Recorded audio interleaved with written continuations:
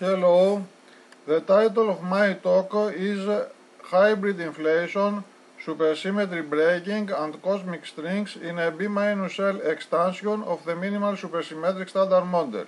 It is based on a recent paper done with the collaboration of Professor Lazaridis. We will introduce our model and describe the SUSY and B-L breaking. Then we will analyze our inflationary scenario, discuss the phenomenology of the produced cosmic strings, and provide a prediction for uh, the SUSY mass scale.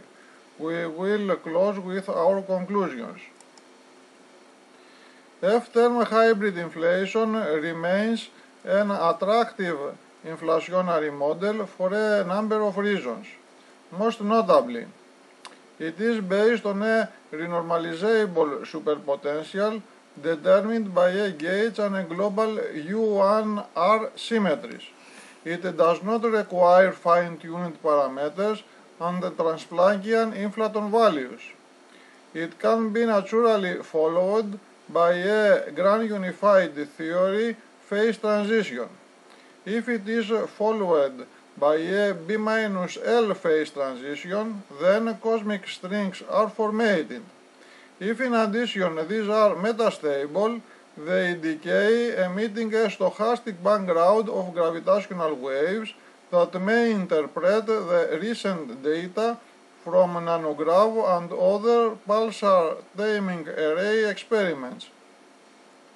For this reason, we consider here F-term hybrid inflation implemented in the context of uh, the gauge group GB-L, which is a B-L extension of the gauge group of the standard model.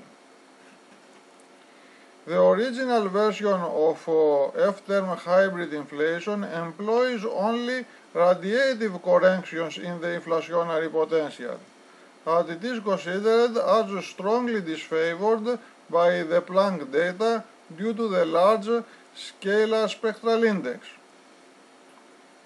However, if we take into account the soft SUSY breaking terms and supergravity corrections with appropriate magnitude, this uh, conclusion can be avoided. In this talk, we present for the first time a consistent realization of F-term hybrid inflation together with a SUSY breaking sector. We use as a junction mechanism of the inflationary and the hidden sectors a mildly violated R symmetry adopting the SUSY breaking models proposed, proposed recently in these two papers. As we show, the stabilization of the Sgoldstino superfield which is responsible for the SUSY breaking, has a number of interesting implications. Namely, it generates the soft SUSY breaking tadpole term and tames the Sugra correction, corrections, reconciling inflation with observations. It assists to resolve the mu problem of MSSM. It motivates the high-scale SUSY as a reliable low-energy effective theory and it offers an interpretation of the notorious dark energy problem by mildly tuning a single superpotential parameter. The low reheat temperature which is obtained during, due to the Sugra suppressed couplings of Z has interesting consequences to the spectrum of the gravitational waves produced by the cosmic strings. The particle content of our model is shown in this table. It includes the chiral superfield of MSSM together with right-handed neutrinos in order to cancel gauge anomalies and also the two Higgs superfields of the MSSM. The implementation of uh, F-term hybrid inflation requires the introduction of uh, other three superfields, the gauge singlet inflaton S and the two Higgs superfields which break the U1b-L symmetry and named also waterfall fields. To establish connection with uh, SUSY breaking, we also introduce uh, a gauge singlet superfield Z, which is the Sgoldstino. In this table, we can also see the representations of the various superfields under the gauge group and the charges of the various superfields under the global symmetries of the model from which uh, the R uh, symmetry is, uh, plays a prominent role in order to construct the superpotential W and the Kähler potential K of the model. In particular, the W of the model includes four terms from which the first term, term is uh, related to the inflationary uh, system. The second term is related uh, to the hidden sector. Here M is a mass scale related to the SUSY breaking. Also the exponent nu is uh, uh, an exponent which may in principle acquire any real value if uh, WH is considered as an effective superpotential valid close to the non-zero value of Z. We take here uh, positive uh, nu values and we focus on uh, this rays as we explain below. The third term of W includes an unavoidable mixing term between Z and the two waterfall fields, which plays an important role in the resolution of dark energy problem.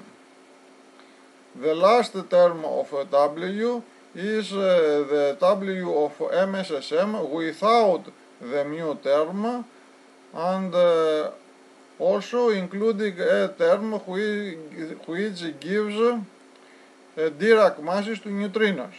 As regards the Kähler potential K, it includes uh, canonical kinetic terms uh, for uh, the superfields of the MSSM and uh, the fields involved in the inflationary sector of our model.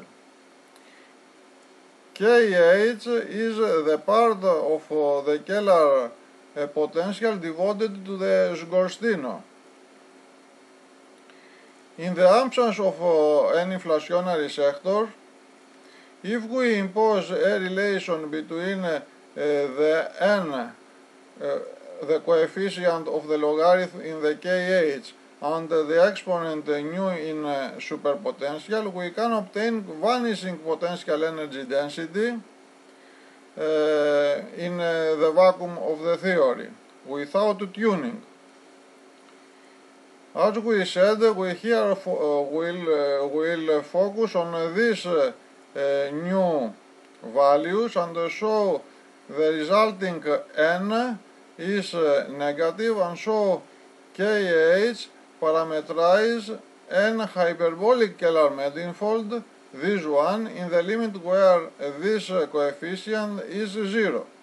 In practice, we take uh, small values for uh, this uh, k coefficient, which violates mildly R symmetry, but assist us to obtain mass for the air action.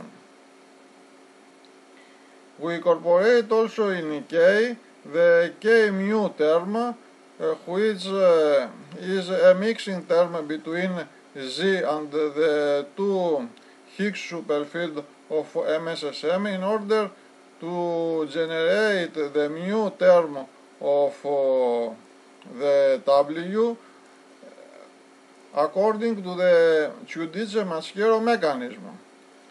The magnitude of the generated mu parameter is given from this formula and it is of order of the gravitino mass and also we obtain a common soft SUSY breaking mass m tilde which is equal to the gravitino mass which in turn is related to the scale m which enters to W.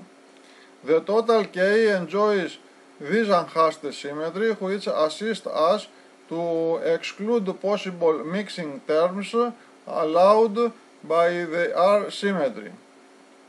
Given W and K, we can construct the supergravity potential of our model. It includes contributions from F and D terms. The F term contribution is given from this formula and includes the Kähler covariant derivative of the superpotential and the inverse Kähler metric defined from this uh, formula.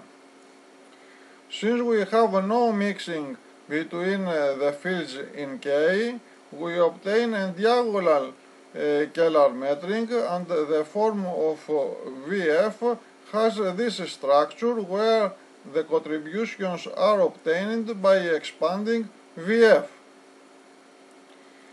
Uh, the part of uh, the supergravity potential which includes a D term due to B minus L symmetry with the chiral superfield placed at zero is this one and it is vanishes along this flat direction which is used as an inflationary trajectory including the vacuum of the theory. As we can uh, verify numerically, Vf is minimized at the B minus L breaking uh, vacuum, this one. If we, if we parameterize the two remaining uh, B minus L singlet superfields according to this description, we can uh, see that uh, the vacuum of uh, the theory uh, lies and this direction which is shown in this plot also. The wave of uh, the component Z of uh, the Sgostino superfield uh, is of the order of m Planck, whereas the canonically normalized inflaton is closer to zero at the vacuum. Also, the angle of uh, the of, uh, of z is equal to zero. At the vacuum we obtain a constant potential energy density given uh, from this formula, so if we tune this superpotential parameter and this value, we can obtain a de vacuum which corresponds to the current dark energy density parameter. For representative inputs in our model and uh, given the values of these parameters related to inflation, we can obtain the particle mass spectrum at the vacuum, which uh, incorporates the mass of uh, the inflaton system, which is close to 10 to 12 GeV, whereas the masses of uh, the gravitino of the R saxion and the R axion are of the order of uh, PeV. In the global supersymmetry, F-term hybrid inflation place, uh, takes place for uh, large values of the inflaton along, uh, along this F and D flat direction where we obtain a constant potential energy density. In the present context, the expression of Vf includes uh, this uh, constant potential energy density, but also includes contribution from the hidden sector of the system. Uh, if we minimize it for n for nu less than 1, we find the values of z and theta which are stabilized during inflation. As we can see in this plot, theta is stabilized on 0 whereas z is stabilized on a value much lower than m Planck. On the other hand, uh, this value of z is independent of the mass of the inflaton. This low but non-vanishing wave of z induces useful soft SUSY breaking terms and supergravity corrections to the inflationary potential which may be cast in this form.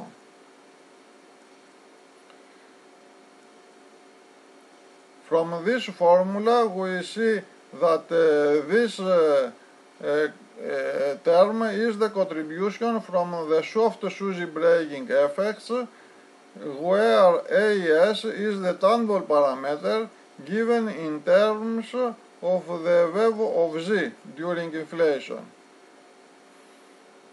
and is given from this formula. And depends not only on uh, the wave of Z but also from uh, the parameter mu m of the superpotential.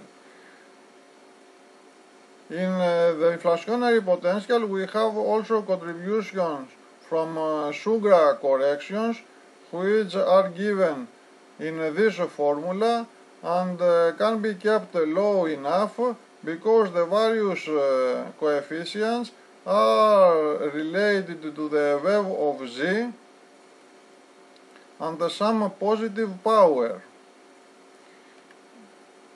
we recall that uh, here uh, nu is less than 1, so the contribution of uh, this quantity here is uh, larger than in the supergravity correction. Finally, the inflationary potential include contributions from one loop radiative corrections a la Coleman-Weinberg, which uh, include this function f given in terms of uh, the ratio xi.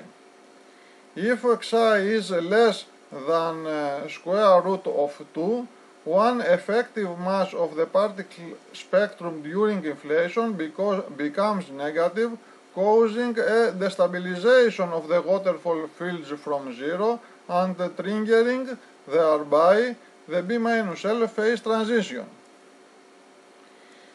From the inflationary stage of our model, we obtain some specific allowed values for the AS and uh, solving this expression with respect to mu, we obtain this uh, uh, much accurate fo formula here, which uh, uh, gives us the opportunity to connect uh, inflation with uh, SUSY mass scale.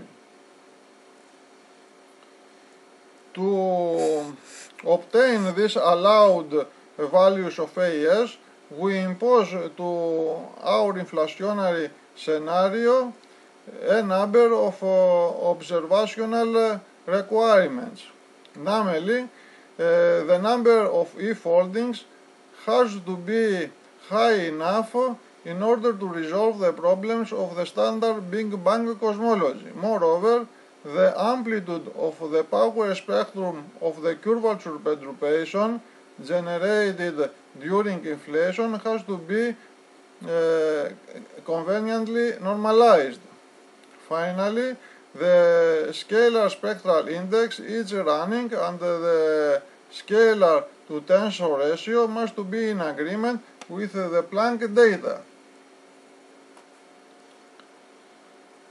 After uh, applying these requirements, we delineate the allowed gray region in the MAS plan and we find uh, these allowed values for the M parameter and uh, these allowed values for the AS. Mu is uh, of the order 10 to 15 GeV and AS is uh, uh, of the order TeV. Soon after the end of inflation, Z and the inflationary system enter into an oscillatory phase about their minima and eventually decay reheating the universe. Since the present value of Z is of order of m Planck, its uh, energy density and the onset of uh, oscillations is comparable to the total energy density of the universe. Therefore, we expect that Z will dominate and reheat the universe at a low temperature, T reheating, which depends on the decay width of uh, Z, which is dominated uh, by the channel uh, uh of uh, uh, is dominated by the decay of Z into R axion and the, the two Higgs of MSSM. To avoid any disturbance of the successful prediction of Big Bang nucleosynthesis, we require that a T reheat is larger than a lower bound, which depends on the hadronic-branching ratio. For a representative uh, value of the new exponent and varying uh, mu in this range, we obtain uh, this gray strip in the kappa T reheating uh, plan.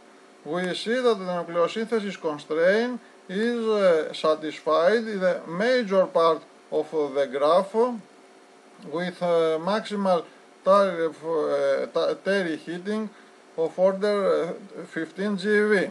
In order to protect our setting from a possible non-thermal overproduction of LSPs, we kinematically block the decay of Z to gravitinos by establishing this inequality. This is easily achieved for values of the nu exponent larger than 3 over 4 as we can conclude by inspection of uh, the uh, relative formulas. Due to the violation of the U1 B minus L at the vacuum of the theory, B minus L cosmic strings are formated. The dimensional tension of uh, these strings is computed using these formulas and depends crucially on the mass scale of the B minus L symmetry breaking. For the allowed mu values from our inflationary setting, we find uh, these uh, values for the string tension. If uh, these strings are stable, uh, then uh, these uh, values are totally acceptable from the Planck data which gives this upper bound to the tension of the strings. This, is, this bound is related to the contribution of the strings to the observed anisotropies of the cosmic, cosmic microwave background radiation. However, this range is completely excluded by the recent PTA bound, which is uh, much, uh, much more stronger than the bound from Planck. On the contrary, if the strings are metastable due to the bending of the GB-L into a larger group whose breaking leads to monopoles, then for these values of mu, we can explain the recent PTA data on the gravitational waves.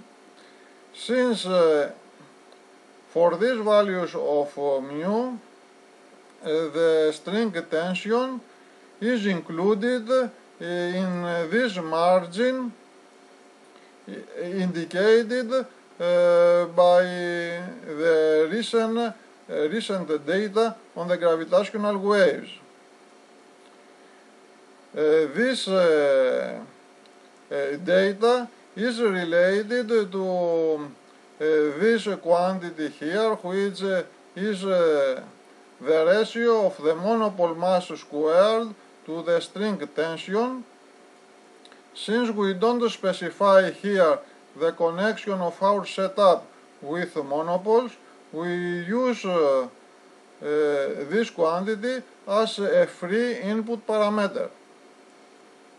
To clarify further the post-inflationary scenario, uh, we uh, plot here the logarithm of the energy density as a function of the logarithmic time tau.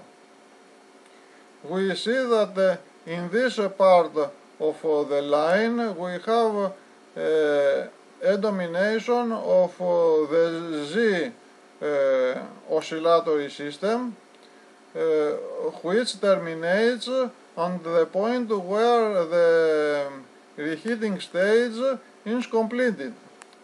We consider here two uh, representative value of the T reheat.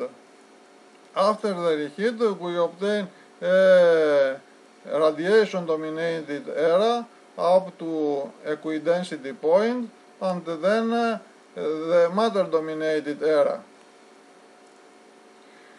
If we use uh, uh, input in uh, this uh, computation uh, the findings of our inflationary period, we can compute the decay rate of uh, the strings and localize uh, there the logarithmic time uh, of uh, their decay. They decay during the radiation dominated era. With the same inputs, we compute the emitted gravitational wave, wave background as a function of the frequencies in this plot. And we see that uh, we can uh,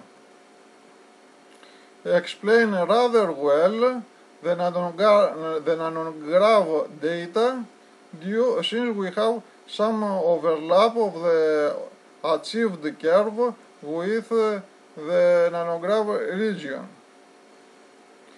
The long-lasting matter domination obtained because of uh, the Z oscillations leads to a suppression of the abundance of the gravitational waves and the frequencies larger than 0.1 Hz. Thanks to these effects, our results are comfortably consistent with the upper bound on this quantity inferred by LIGO Virgo KAGRA data. The sensitivities of various other experiments are also shown in the plot.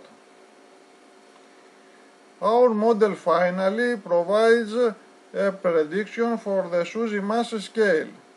If we allow the exponent nu and the parameter mu to vary in their respective margins, we obtain the gray shaded region in the kappa m tilde plan and we see that uh, uh, the mass scale of supersymmetry lies under the PeV region and in particular in uh, this margin here. This is consistent with the Higgs boson mass discovered in uh, the LHC within high-scale supersymmetry. Let me conclude. We analyzed the realization of uh, F-term hybrid inflation and SUSY breaking in the context of a model which is consistent with an approximate air symmetry. The model offers the following interesting achievements.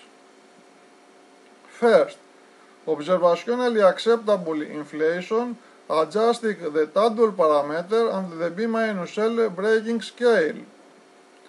Second, B minus L cosmic strings which, if metastable, explain the recent observations on gravitational waves. Third, a prediction of the SUSY mass scale which turns out to be of the order of PeV. Fourth, generation of the mu term of the MSSM with a magnitude of the order of the gravitino mass. Fifth, reheat temperature higher than its lower bound from nucleosynthesis. Sixth, interpretation of the dark energy problem without extensive tuning. Thank you for your attention.